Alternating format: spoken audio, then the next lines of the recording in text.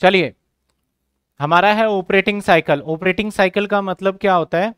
कि हमारा बिज़नेस के मैन्युफैक्चरिंग प्रोसेस के अंदर कितना टाइम लगेगा और उस टाइम के हिसाब से कितना पैसा हमारा इन्वेस्टमेंट रहेगा।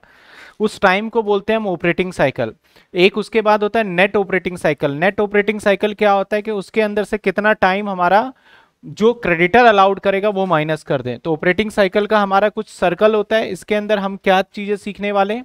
एक नंबर ऑफ़ ऑपरेटिंग साइकिल सीखते हैं और एक वर्किंग कैपिटल और एक operating cycle sir operating cycle को अगर हम आगे इलेबोरेट करें तो सर ऑपरेटिंग साइकिल क्या है? ऑपरेटिंग साइकिल हमारा एक तरीके से मान लो, ये साइकिल है रिंग है। रॉ मटेरियल में कितने दिन लगे? डब्ल्यू तक बनने में डब्ल्यू से FG में कितने टाइम लगे FG से डेटर में कितने टाइम लगे डेटर से फिर आपका कन्वर्ट होने में कितना टाइम लगा। इन टोटल टाइम को ऐड कर दिया जाए तो हम क्या बोलते हैं? नेट ऑपरेटिंग साइकिल सर, सभी के फॉर्मूले आपको गिवन है। ऊपर में हर किसी के एवरेज आएगा रॉ मटेरियल के नीचे आपका परचेज आ जाता है डब्ल्यू के नीचे प्रोडक्शन और फिनिश में कॉस्ट ऑफ़ गुड सोल्ड और डेटर के अंदर क्रेडिट सेल्स और क्रेडिटर के अंदर क्रेडिट परचेज हमने कुछ क्वेश्चंस देख लिए थे इससे रिलेटेड और ये मैंने कहा था, चलो मैं करा दूँगा तो पहले हम यही क्वेश्चन कर लेते हैं।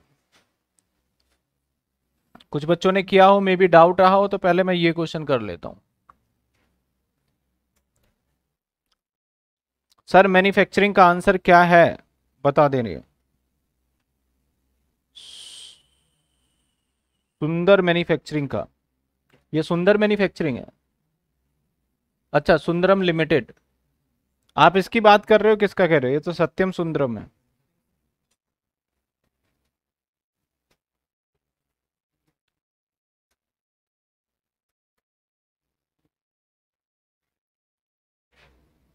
नहीं, अभी नहीं।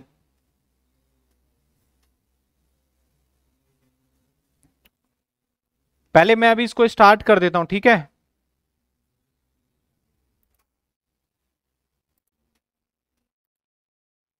मैं इसको स्टार्ट कर देता हूँ क्वेश्चन सिंपल सा क्वेश्चन है. आज की क्लास इतनी लंबी तो नहीं रहने वाली, क्योंकि क्वेश्चन करने लायक है नहीं.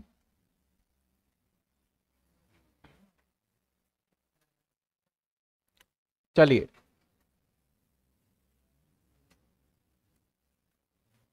पहले हम फॉर्मेट प्रिपेयर कर लें.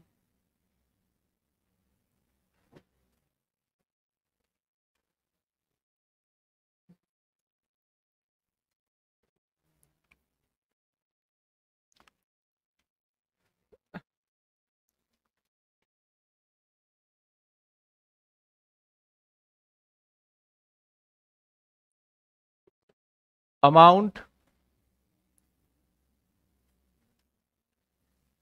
अमाउंट सॉरी नहीं डेज़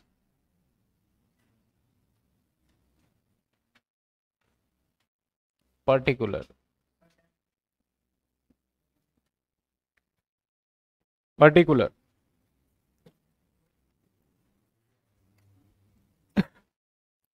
सबसे पहले क्या लेते हैं हम?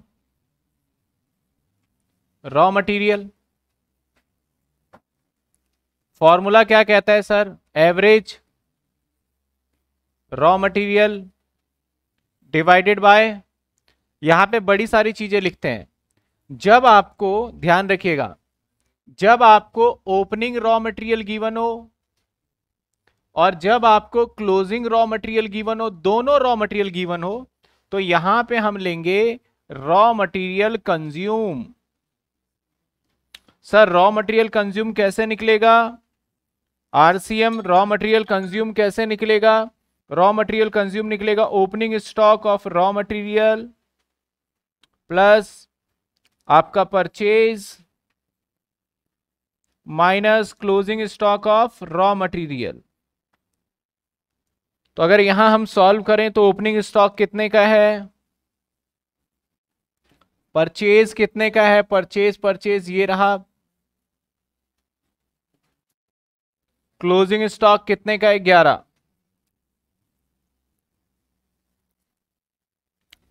चौंतीस हज़ार। सर, मैं यहीं पे कुछ काम करूँगा। एवरेज रॉ मटेरियल निकालने के लिए क्या करेंगे? यहाँ कर देते हैं। Average raw material sir opening में दस और क्लोजिंग में ग्यारह। तो दस प्लस ग्यारह डिवाइड टू यानी दस पाँच सौ। पहला आ गया हमारा। दस पाँच सौ divided by into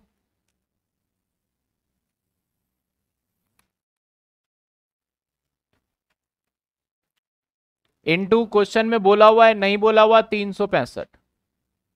first point में किसी को डाउट है तो कमेंट कर दीजिए फटाफट। फ़र्स्ट पॉइंट में डाउट है तो बता दीजिए।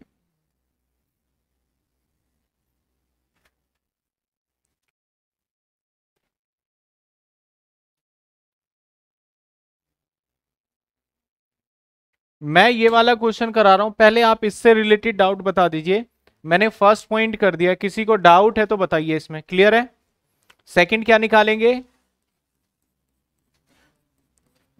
पी क्या होता है सर? एवरेज और डिवाइडेड बाय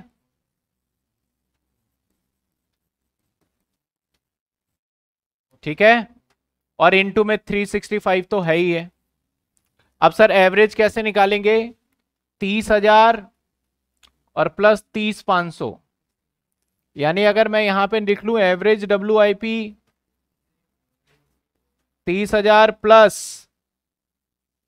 तीस पाँच सौ डिवाइडेड बाय टू तीस तीस हज़ार. तो चलिए एक तो निकाल लिया हमने। तीस हज़ार दो सौ पचास। अब प्रोडक्शन क्या होता है? प्रोडक्शन का मतलब आपने कॉस्ट शीट किया है तो कॉस्ट शीट के अंदर अगर मैं थोड़ा सा हिंट और आइडिया दे दूँ कॉस्ट शीट का, जिन बच्चों ने पहले नहीं पढ़ा है तो उनको आइडिया हो जाएगा। प्रोडक्शन कैसे निकलता है?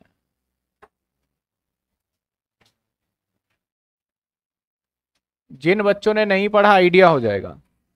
सबसे पहले होता है opening stock raw material plus हो जाता है परचेज माइनस हो जाता है क्लोजिंग स्टॉक रॉ मटेरियल जब इनको हम सॉल्व करते हैं तो ये आ जाता है इधर कंज्यूम ऐड हो जाता है डायरेक्ट एक्सपेंस इसको हम नाम देते थे क्या? प्राइम कॉस्ट इसके बाद ऐड कर देते हैं फैक्ट्री एक्सपेंस ऐड क्या कर देते थे? इधर आ जाओ, आगे आ जाओ, आगे। ऐड क्या कर देते थे? फैक्ट्री एक्सपेंस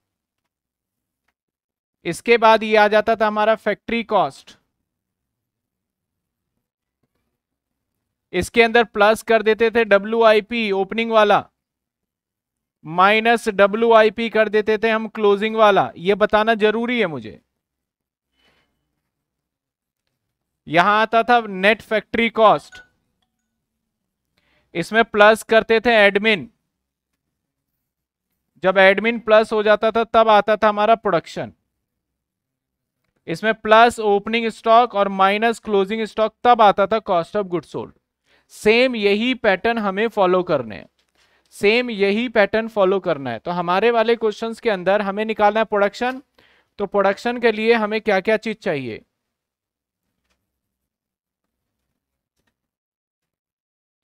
सबसे पहले चाहिए हमें ओपनिंग स्टॉक किसका? प्लस क्या चाहिए हमें? माइनस क्या करेंगे? क्लोजिंग स्टॉक किसका? तो सर, ओपनिंग स्टॉक सवाल में दस हज़ार था, ये पैंतीस हज़ार है और ये ग्यारह हज़ार है।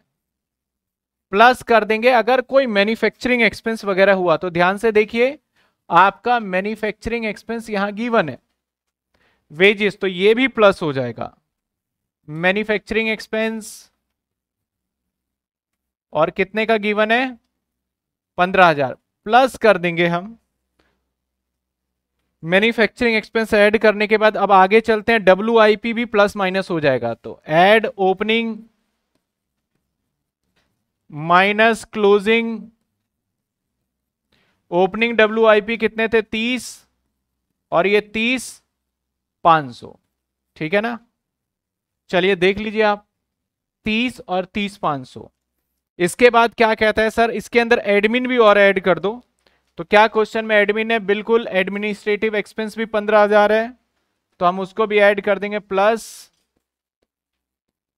एडमिन एक्सपेंस, पंद्रह हज़ार। जब इन सभी को सॉल्व करेंगे तो क्या आ जाएगा हमारा? प्रोडक्शन। दस हज़ार प्लस पैंतीस हज़ार, माइनस ग्यारह हज़ार, प्लस पंद्रह हज़ार, प्लस तीस हज़ार, माइनस तीस पाँच सौ प्लस पंद्रह हज़ार। और क्या रह गया? कुछ रह गया क्या? पैंतीस हज़ार माइनस ग्यारह हज़ार। मैन्युफैक्चरिंग कितना था? पंद्रह।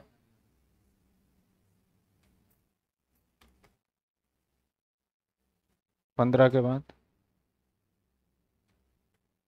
तीस। माइनस तीस पाँच सौ।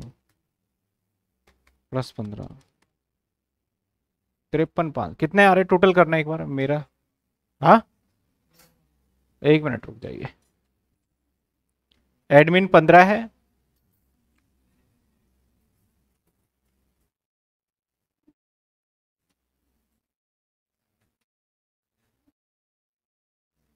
दस हज़ार, तीस हज़ार, पैंतीस हज़ार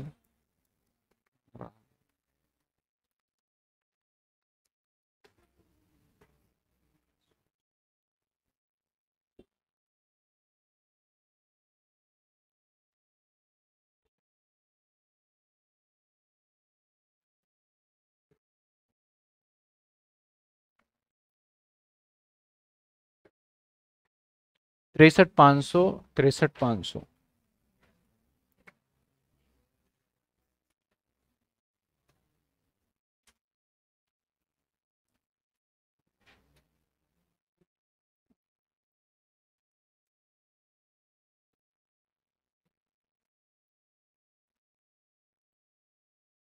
चलिए एक थोड़ा सा मैं इसमें चेंज करता हूँ। थोड़ा सा ये चेंज करता हूँ कि एडमिन नए वाले पैटर्न में एडमिन नहीं था यहाँ। नहीं था ना नए वाले कॉस्ट शीट अगर करी हो तो? हाँ इसको फैक्ट्री कॉस्ट मान लेते हैं। प्रोडक्शन इसी को मान लेते हैं, ठीक है? थोड़ा चेंज कर देते हैं।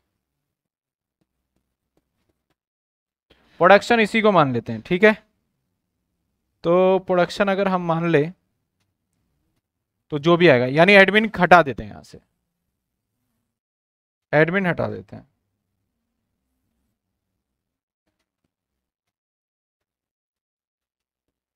ये क्या आ रहा है, आप देखते हैं।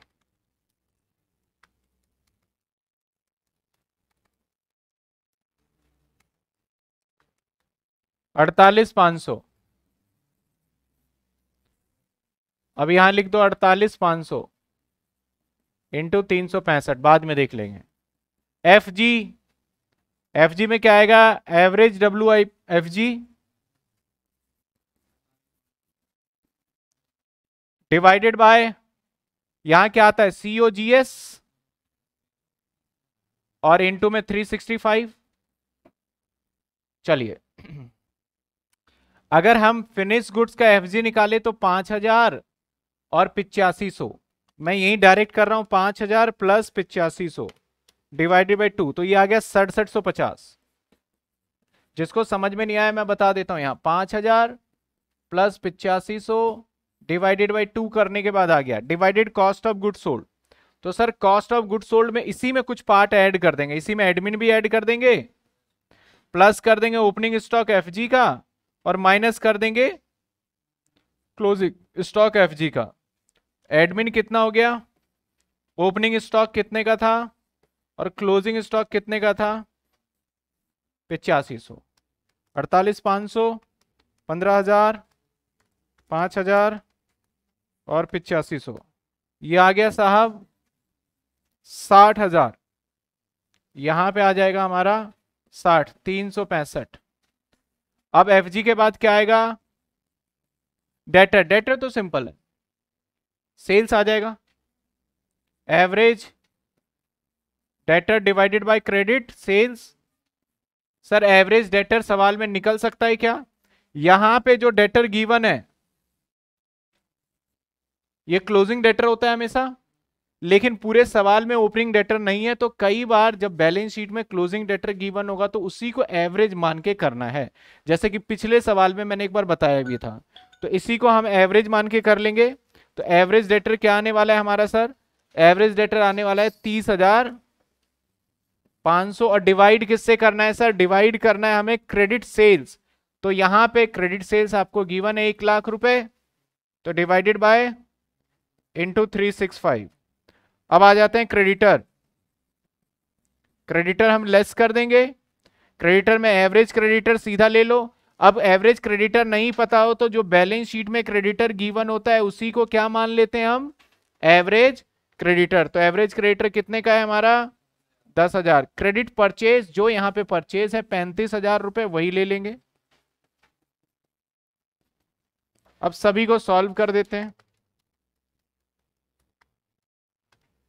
ये आ गया 112 दिन।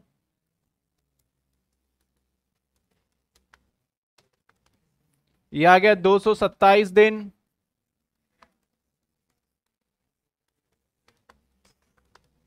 ये आ गया 41 डेज़ ये देखना गलत तो नहीं आया। इसको चेक कर लेना वैसे। ये आ गया 112 दिन मतलब पॉइंट में फ्रैक्शन ऊपर नीचे हो सकता है। ये आ गया 104 दिन 105 कर देते हैं। नेट आ जाएगा। टोटलिंग चेक कर लीजिएगा। 387 एक बार टोटलिंग चेक करिए तो ज़्यादा आ रहा है दिन तो। तीस, दो सौ पचास डिवाइडेड बाय अड़तालीस, पाँच सौ, तीन सौ पैंसठ। हा?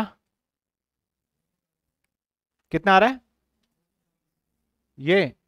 सत्ताईस ही आ रहा है। तीस दो सौ पचास है।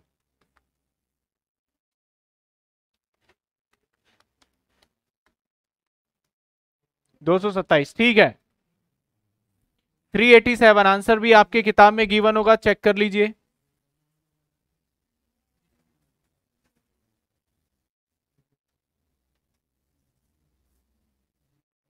आंसर चेक कर लीजिए।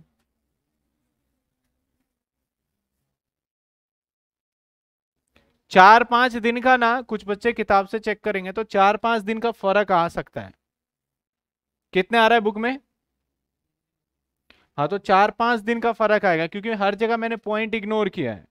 तो उसमें परेशान नहीं होना कि भैया गलत आ गया है। बिल्कुल सही है, कोई दिक्कत वाली बात नहीं है। फिर से एक बार क्विकली बता देते हैं क्या क्या करना था। सर, हमें एवरेज निकालने के किसी में परेशानी नहीं है इस सवाल में। एवरेज ओपनिंग में नहीं परेशानी, ना एवरेज पी ना एफ़ जी ना डेटर, किसी में परेशानी नहीं मेन पॉइंट है कंज्यूम। कंज्यूम क्या होता है? Opening stock of raw material, plus में परचेज, माइनस में क्लोजिंग। ये मैंने फॉर्मूला लिख दिया। इसके बाद कॉस्ट ऑफ़ प्रोडक्शन क्या होता है? Opening stock of raw material plus में परचेज प्लस में opening stock of W plus में आपका मैन्युफैक्चरिंग एक्सपेंस माइनस में closing stock of W minus closing stock of raw material तो ये आ गया हमारा। अल्टीमेटली आप ध्यान से देखें तो कॉस्ट ऑफ़ प्रोडक्शन जो होगा ना, वो इस एरिए से निकलेगा प्रोडक्शन का।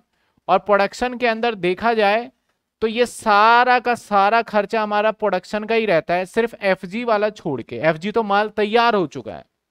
तो सिर्फ़ मैंने एफजी वाले पॉइंट को छोड़ दिया, बाकी सभी को मैंने माइनस कर दिया। कॉस्ट ऑफ़ गुड सोल्ड सारा आ जाएगा, सिर्फ़ सेलिंग डिस्ट्रीब्यूशन एक्सपेंस नहीं आएगा, बस ये नहीं आएगा। अगर कहीं पे कॉस्ट ऑफ़ सेल्स लिया जाता तो सेलिंग डिस्ट्रीब्यूशन आ जाता। इसके बाद क्रेडिट परचेस और क्रेडिट सेल्स आपको गिवन था। सर पेपर में प्रेजेंटेशन ऐसे ही देना। बिल्कुल एग्ज़ाम में देखो, मैं तो साइड में क्वेश्चन दिखा रहा हूँ, आपको यही प्रेजेंटेशन देना है। फॉर्मूला और साइड के साइड कर दो या फॉर्मूला बाहर लिख दो, आपकी मर्ज़ी है। बुक वाले ऐसे करते हैं, मेरे हिसाब से ये ज़्यादा बेस्ट है, एक बार में हो जाएगा। चलिए सर, ये क्वेश्चन दिया था, कितने बच्चों का डाउट है?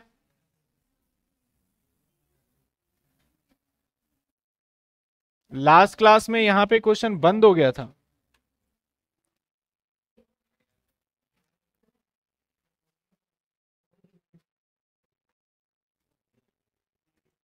बताइए, किसी का डाउट ये क्वेश्चन तो मैं कराऊं?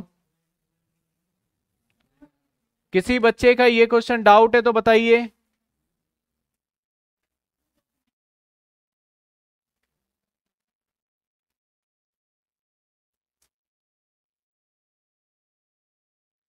इसका आंसर क्या है? बताओ भाई आंसर पहले का आंसर बता दो।